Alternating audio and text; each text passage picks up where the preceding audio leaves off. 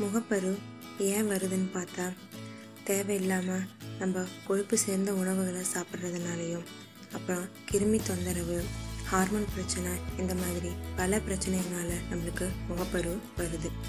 அந்த முகப்பரு வராமல் இருக்கிறதுக்கு ஒரு சின்ன டிப்ஸ் பார்க்கலாம். ஆயிலி ஸ்கின்னாக இருக்கவங்க எப்போதும் முகத்தை சில் வாட்டரில் கழுவிட்டே இருக்கணும். அப்போ தான் அவங்க முகத்தில் ஆயில் வலியாமல் இருக்கிறத தடுக்கலாம். அதே மாதிரி முகப்பர் இருக்கவங்க அடிக்கடி கையால் சும்மா அதை தொட்டு பார்த்துட்டே இருக்கக்கூடாது.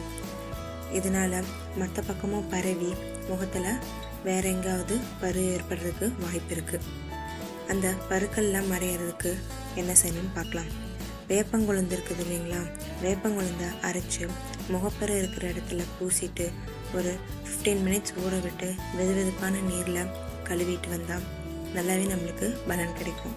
அதே மாதிரி கடலை மாவு கூட சோற்று கட்டாலையும் சேர்த்து பயன்படுத்திட்டு வந்தாலும் நம்மளுக்கு நல்ல ரிசல்ட் கிடைக்கும். முகப்பரு இருக்காங்க. ஆன்டிபயோட்டிக் லோஷன் பயன்படுத்தினாலும் கிருமி தொற்றிலிருந்து நம்ம முகப்பரு வராமல் தவிர்க்க முடியும்.